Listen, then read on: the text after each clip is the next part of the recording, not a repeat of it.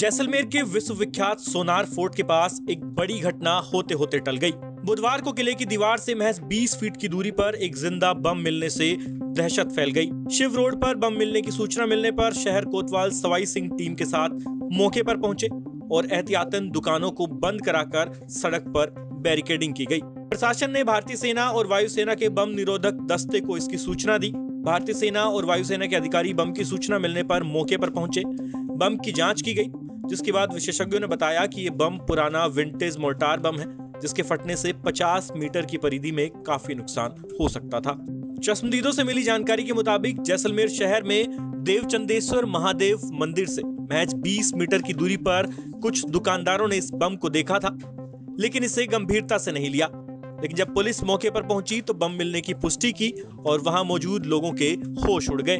Rocket launcher बम की तरह दिखने वाले इस भारी चीज़ में अगर विस्फोट होता तो काफ़ी बड़ा नुकसान हो सकता था। बाद में हमने देखा, ये बंदा आया, एक बोला, ये जो पर्यटक विभाग में अफसर है, वो आए, बोले, ये क्या है? मैंने कहा, पता नहीं भैया।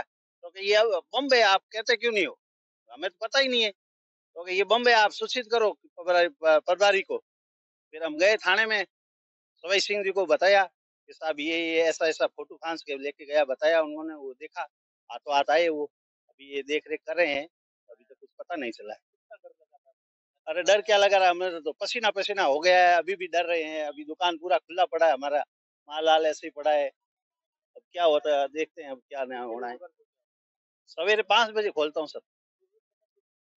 हमने तो देखा लेकिन हमारे को पता नहीं कि ये बम है। उसके बाद में जैसे ही वो परबारी साहब ने हमारे को बताया कि ये बम है तो हमने हाथों उसको गैस वैस बंद करके वापस गए सवाई सिंह जी को बताया तो वो आए हैं अभी देख रहे हैं क्या हो रहा है पहली नज़र में देखने से पता चलता है कि कचरा बीनने वाले या कबाड़ियों ने यह बम कहीं से उठाया होगा और जब उन्हें इसे बम होने का अंदेशा लगा तो उन्होंने इसे तुरंत फेंक दिया होगा। हालाँकि ये बम रिहायशी इलाके में वर्ल्ड हेरिटेज सोसाइटी के बाहर बेहद करीबी जगह पर मिला है। इससे इस बम को लेकर और भी सवाल उठने लाजमी है।